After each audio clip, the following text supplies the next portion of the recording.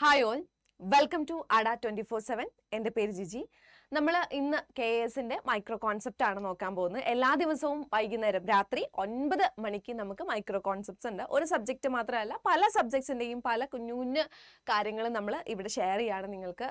അപ്പോൾ ഇന്ന് നമ്മൾ നോക്കുന്നത് അൺഎംപ്ലോയ്മെന്റ് നമ്മൾ കുറച്ച് ഇക്കണോമിയിൽ നമ്മൾ നോക്കുവാണെങ്കിൽ അൺഎംപ്ലോയ്മെന്റിന്റെ കുറച്ച് കുഞ്ഞു കുഞ്ഞു കുഞ്ഞു കോൺസെപ്റ്റാണ് നമ്മൾ കുറച്ച് ദിവസങ്ങളായിട്ട് നോക്കി വരുന്നത്.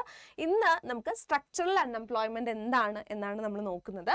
അപ്പോൾ എന്താണ് സ്ട്രക്ചറൽ അൺഎംപ്ലോയ്മെന്റ് ഇവിടെ ഡെഫിനിഷൻ ആദ്യം നോക്കാം structural unemployment as a form of involuntary unemployment cause by a mismatch between the skills that workers in the economy can offer and the skill demanded for workers by the employers. Structural unemployment is often brought about by technological changes that make the job skills of many workers obsolete. അപ്പോൾ ഇത് നമ്മൾ ഉദ്ദേശിക്കുന്നത് structural unemployment എന്ന് പറയുമ്പോൾ നമ്മുടെ ഒരു mismatch ആണ് വരുന്നത്. എന്തിന്റെ മിസ്മാച്ച് ആണ്? ഒരു ഇക്കണോമിയിൽ സ്കില്ലിന്റെ മിസ്മാച്ച് ആണ്. ഒരു ഇക്കണോമിക്ക് ആവശ്യമുള്ള സ്കില്ലും ഒരു ലേബറിന്റെ കയ്യിൽ ഉള്ള സ്കില്ലും തമ്മിലുള്ള മിസ്മാച്ചിനെയാണ് സ്ട്രക്ചറൽ അൺഎംപ്ലോയ്മെന്റ് എന്ന് പറയുന്നത്. അതായത് ഇപ്പോൾ ഒരു കമ്പനിക്ക് വേണ്ടത് ഇപ്പോൾ ഇതാ ഞാനൊരു പിക്ചർ വെച്ചിട്ടുണ്ട്. അതിൽ നിങ്ങൾക്ക് ക്ലിയർ ആയിട്ട് മനസ്സിലാവും. അതായത് ഇവിടെ എന്തായിരുന്നു? ഇവിടെ കുറച്ച് അൺഎംപ്ലോയിഡ് ആയിട്ടുള്ള ആൾക്കാരുണ്ട്. ഇവരെ ആരാ? ഇവർ മെക്കാനിക്സ് ആണ് അല്ലെ? ഇവിടെ മെക്കാനിക്സ് ആണ്. പക്ഷെ എന്തിനുള്ള വേക്കൻസി ആണ് ഇവിടെ ഉള്ളത്? ഇവിടെ ഐ ടി എക്സ്പേർട്സിനാണ് ഇവിടെ വേക്കൻസി വരുന്നത്. സോ ഇവിടെ നമ്മൾ നോക്കുവാണെങ്കിൽ ജോബ് ഉണ്ടോ ചോദിച്ചാൽ ജോബ് ഉണ്ട്. കാരണം ഇവിടെ വേക്കൻസി ഉണ്ട്. കാരണം നമുക്കപ്പോൾ ജോബ് ഇല്ല എന്ന് പറയാൻ പറ്റില്ല ഇക്കണോമിയിൽ ഇവിടെ വേക്കൻസി ഉണ്ട്. പക്ഷെ ഇവിടെ എന്താ സംഭവിക്കുന്നത്?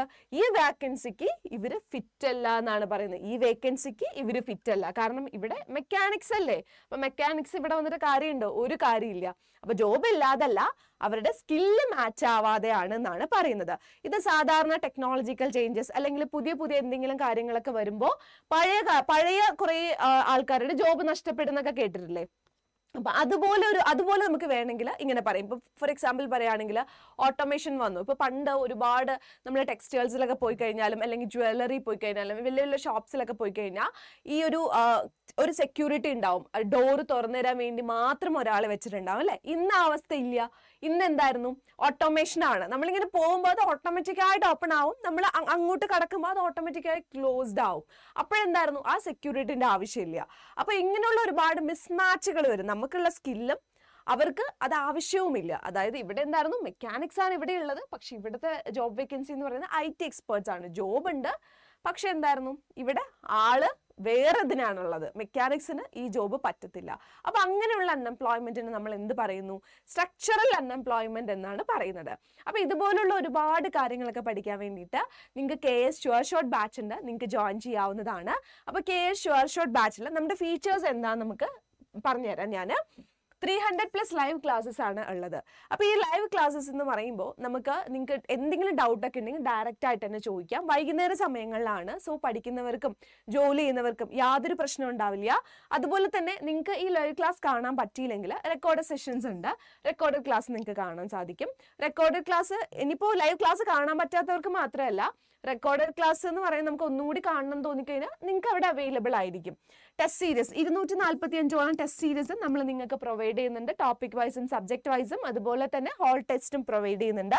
നിങ്ങൾക്ക് ഒരു ഡിസ്കഷൻ ഗ്രൂപ്പ് ഉണ്ടാവും ഇനിയിപ്പോൾ റെക്കോർഡ് ക്ലാസ് കാണുന്നവർ റെക്കോർഡ് സെഷനിൽ എന്തെങ്കിലും ഡൗട്ട് വരികയാണെങ്കിൽ ഡിസ്കഷൻ ഗ്രൂപ്പിൽ നിങ്ങൾക്ക് കമന്റ് ചെയ്യാവുന്നതാണ് ഫാക്കൽറ്റീസിനെ ടാഗ് ചെയ്തിട്ട്. കാരണം ഈ ഡിസ്കഷൻ ഗ്രൂപ്പ് എന്ന് പറയുന്നത് ഫാക്കൽറ്റീസ് ഉൾപ്പെടെയുള്ള ഡിസ്കഷൻ ഗ്രൂപ്പാണ് ഇനി നിങ്ങൾക്ക് സ്റ്റഡി മെറ്റീരിയൽസും ഇവിടെ നിന്ന് നമ്മൾ പ്രൊവൈഡ് ചെയ്യുന്നതാണ് കേട്ടോ ഇനി പേഴ്സണൽ മെന്റർഷിപ്പും നിങ്ങൾക്ക് നമ്മൾ തരുന്നതാണ് പേഴ്സണൽ മെന്റർഷിപ്പ് അതുപോലെ തന്നെ ഫ്രീ മെയിൻസ് ക്ലാസ്സും എന്തായിരുന്നു? നമുക്കുണ്ട്. ഇതിൽ നിങ്ങൾ പാസ്സാവുകയാണെങ്കിൽ തീർച്ചയായും നിങ്ങൾക്ക് മെയിൻസ് ക്ലാസ്സും കൂടിയിട്ട് ഫ്രീ ആണ്. അപ്പോൾ പേഴ്സണൽ മെന്റോർഷിപ്പിലൂടെ ഉറപ്പായിട്ട് നിങ്ങൾക്ക് ഒരുപാട് കാര്യങ്ങൾ നിങ്ങൾക്ക് ഗെയിൻ ചെയ്യാൻ പറ്റും. കാരണം പേഴ്സണൽ മെന്ററിംഗ് എന്ന് പറയുന്നത് വളരെ ഇമ്പോർട്ടന്റ് ആയിട്ടുള്ള ഒരു കാര്യമാണ്.